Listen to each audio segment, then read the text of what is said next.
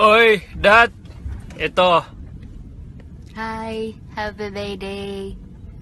Sabi mo, alagaan niya ako. Oo, alagaan mo si Mata pero wag masyado. Joke Hmm? Ang labo. Kita mo yun? Yung cut off, ha? Yung cut off. Ay, oo, cut off please. Bye-bye.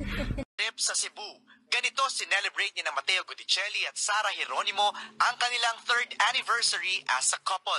Madalas, mailap ang dalawa sa pagbabahagi ng kanilang relasyon.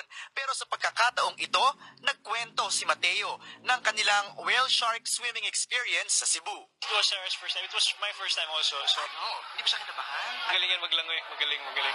Matagal na nilang plano ang pagbisita sa hometown ni Mateo. Um, Mama loves her. I mean, Mama treats her like uh, like her own, I guess. Ang tawag sa kanya anak na?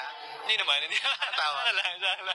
She doesn't use, the, Mama doesn't really call anak. Ganun. She just calls, you know, Sarah, Sarah. Anong tawag ni Sara sa mami mo? tita, tita naman din. Di ba, Mami? Ba? Inamin din ng aktor na pag-usapan na nila ang kasal.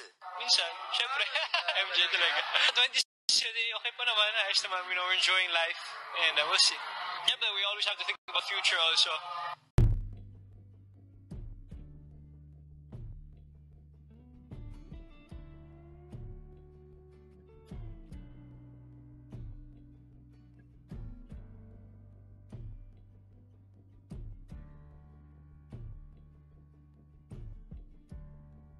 settle down.